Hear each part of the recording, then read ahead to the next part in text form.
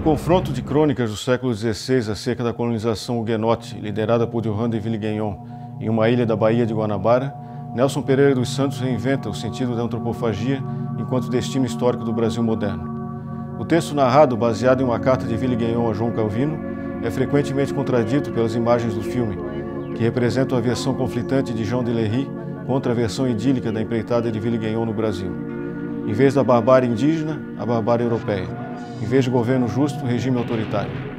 Sob esse fundo histórico, irrompe a figura do protagonista Jean, sob a influência de outra crônica, agora de Hans Staden, que descreveu sua experiência no cativeiro dos Tupinambás. Mas mais uma vez a imagem é a contrafação da narrativa de Staden, que se torna pouco convincente. Através desse perspectivismo histórico, Nelson Pereira dos Santos ataca frontalmente os planos de expansão do Brasil para o interior, iniciado por JK e tornado uma obsessão da ditadura militar, que avançava perpetuando a devastação das florestas e dos povos originários remanescentes, que terminam como uma incógnita. Vale ressaltar que o filme foi primeiramente censurado não por sua carga política, mas pela nudez ostensivamente mostrada de Jean, junto com a nudez dos indígenas, a qual os militares ficaram indiferentes.